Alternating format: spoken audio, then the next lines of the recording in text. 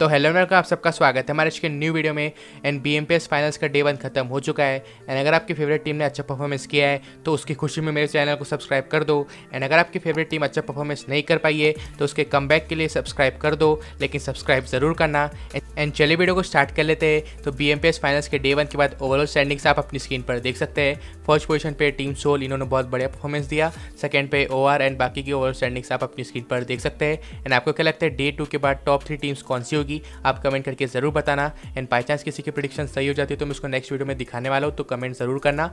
And अपनी next use करें बात कर लेते तो घातक भाई जब लाइव आए थे तो बात करते गॉडल की सेकंड लाइनअप के बारे में। उन्होंने बताया कि गॉडल की जो सेकंड लाइनअप है वो भी बहुत जल्दी खेलने वाली है लेकिन वो दूसरे नाम से खेलने वाली है।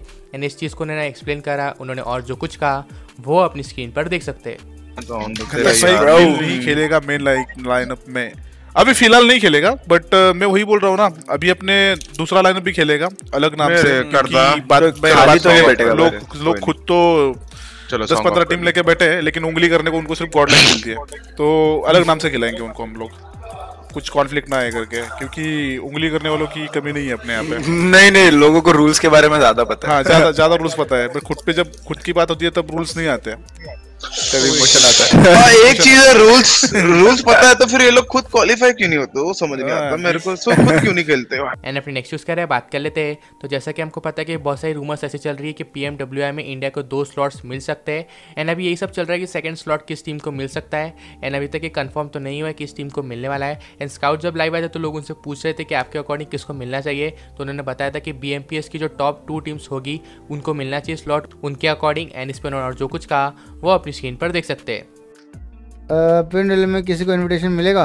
आई थिंक हैश टैग वन जो रहेगी टीम उसको मिल सकता है I am not sure but I feel अगर इंडिया की जो टॉप टीम उसको मिलनी चाहिए and what I feel is Soul और O R according to the performance from the recent tournament there is no doubt in that दो invites है India के लिए। ओह that's crazy I guess first and second team में मिलेगा तो।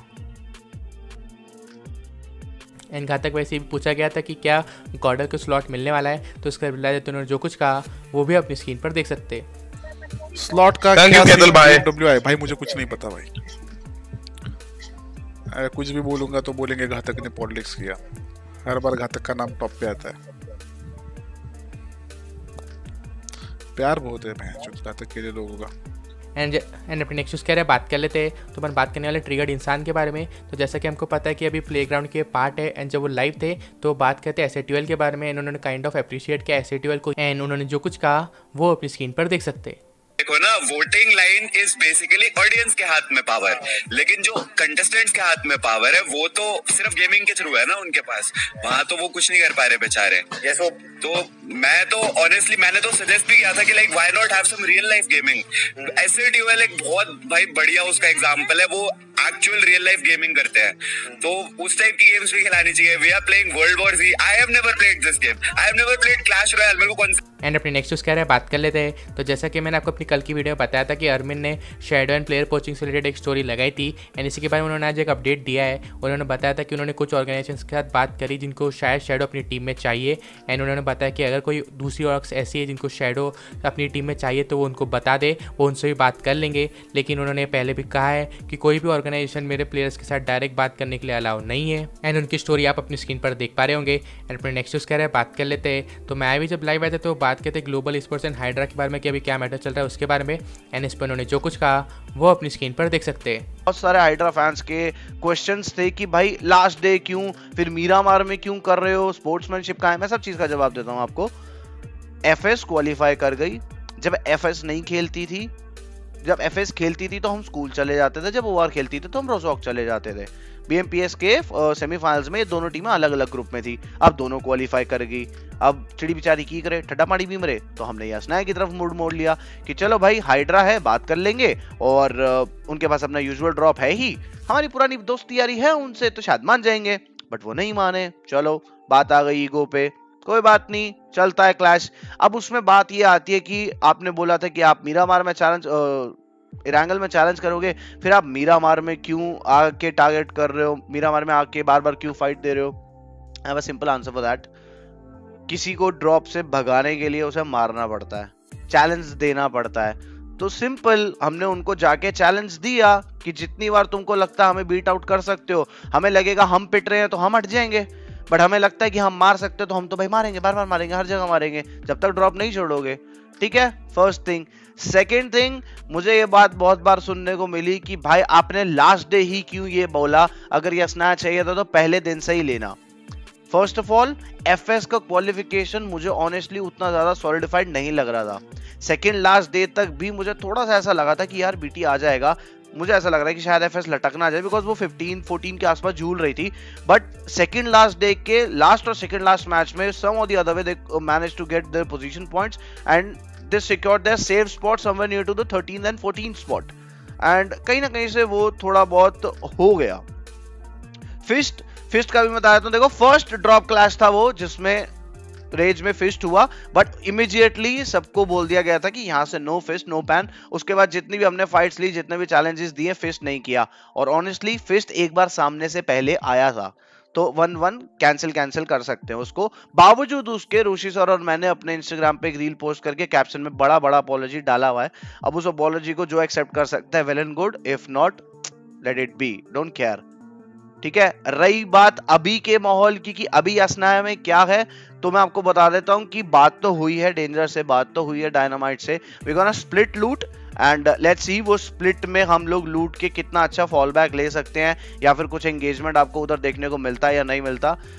And अब hydra and global sports की बात चल ही रही है तो कल एक और मैटर हुआ था एंड में आपको एक्सप्लेन कर देता हूँ। सबसे पहले, जैसे कि हमको पता है कि बैटल ग्राउंड मोबाइल इंडिया का जो ऑफिशियल चैनल है, उस पर अलग अलग वीडियोज़ एंड इंटरव्यूज़ आ रहे हैं, जैसे एक्जो का आया ओ का आया एंड फिर हाइड्रा का भी उसमें इंटरव्यू आया था। एंड उसमें स्पीरो एक लाइन बोलते कि मतलब आपको फ़र्स्ट पोजिशन के लिए खेलना चाहिए, ऐसी लाइन बोलते जिस पे अल्फ़ा थोड़े नाराज़ से हो जाते हैं एंड इस पर उन्होंने स्पीरो के बारे में बात करी थी। एंड इसके बाद अल्फ़ा बात करते स्पेक्टेटिंग के ऊपर, क्या हाइड्रा को स्पेक्टेट नहीं किया जा रहा है, क्या इस बारे में वो बात कर रहे थे। एंड इसके बाद अल्फ़ा ने एक लाइन ऐसे भी बोली थी कि क्या स्पीरो ग्लोबल स्पोर्ट्स के मेंबर है एंड इसके बाद स्पीरो एंड फिक्सेस ने इस पूरी चीज़ का रिप्लाई करा था एंड वो वाली क्लिप आप अपनी स्क्रीन पर देख सकते हैं। कराया था वो तो, वो वाले मैच में। हम्म। है कि हाइड्रा को ड्रॉप तो वो वाले मैच में। हम्म। वहाँ तक उसको स्पेक्टेट ही नहीं करा। हाँ वो देखा था मैंने वो मैच मैंने देखा था। कोइंसिडेंस देख रहे हो?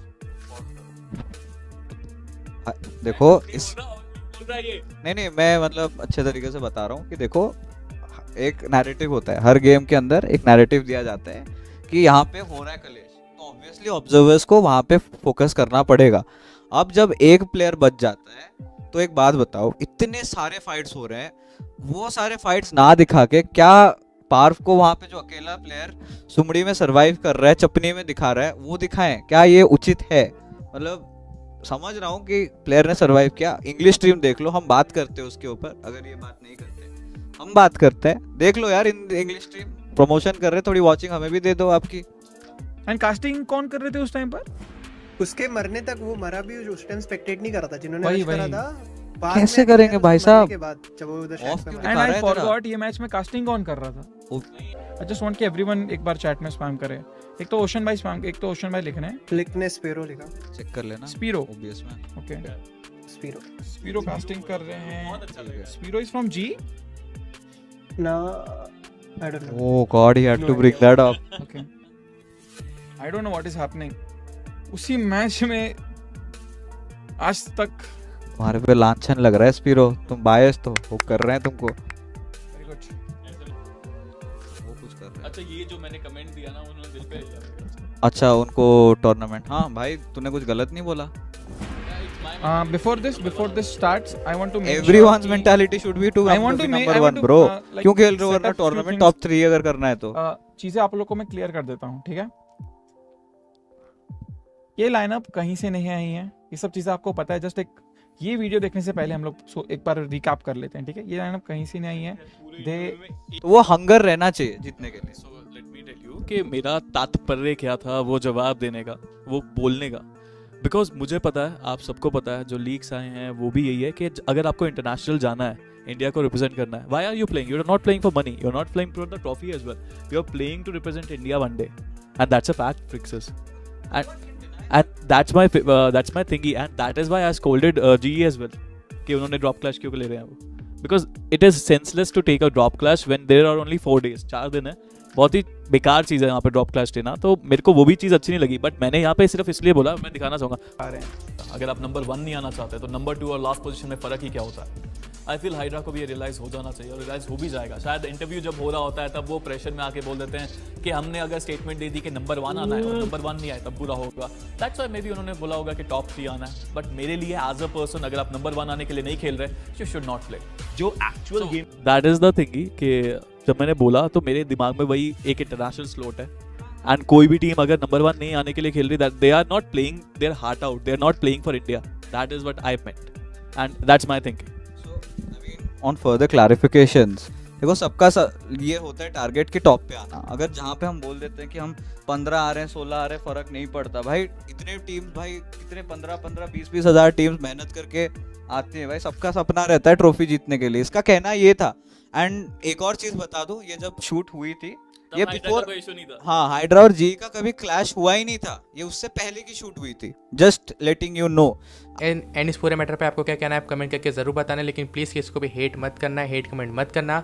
एंड आज की वीडियो को ये खत्म कर लेते हैं। अगर आपको हमारी वीडियो पसंद आए तो प्लीज़ वीडियो को लाइक कर देना। एंड चैनल को सब्सक्राइब करके हमारा thirty two thousand two hundred subscribers का गोल पूरा करवा देना।